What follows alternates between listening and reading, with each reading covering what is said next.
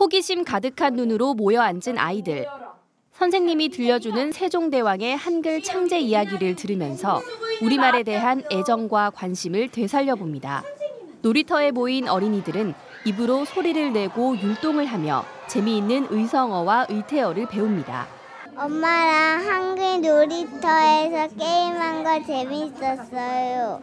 손으로 만져보고 몸으로 표현하는 다양한 체험 전시물을 활용해 한글과 친해지기도 합니다.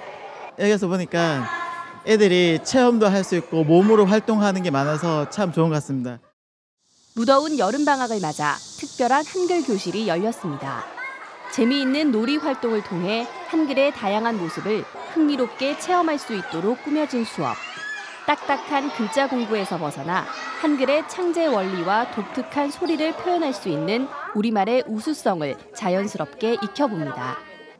전문가들은 미취학 아동을 대상으로 한 한글 교육은 단순히 글자를 쓰고 읽는 식의 공부가 아닌 체험을 통해 재미를 느끼도록 하는 게 중요하다고 강조합니다.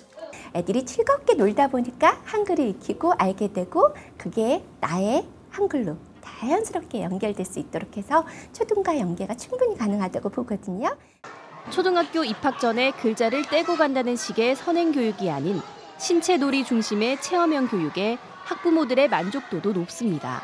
집에서 앉아서 공부 이렇게 앉아서 쓰기만 하다가 같이 와서 엄마도 같이 참여하면서 몸으로 움직이면서 아이들이 그거를 맞추는 것도 하면서 좀 더 한글에 대해서 많이 관심을 갖게 된 것 같아요 아이가.